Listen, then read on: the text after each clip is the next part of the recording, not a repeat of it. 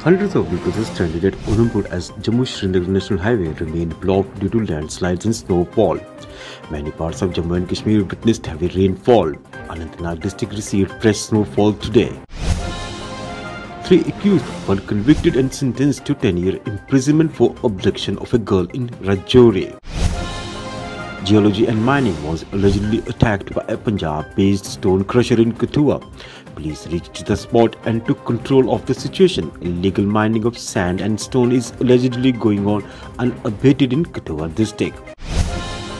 Death toll due to coronavirus has reached 106 in China. The authorities have imposed strict restrictions. Village Defense Committee members who played an important role in fighting terrorism in Jammu region, especially in Doda, held a protest demonstration in Jammu city. VDC members alleged they are not being any on radium and have demanded regular monthly salary.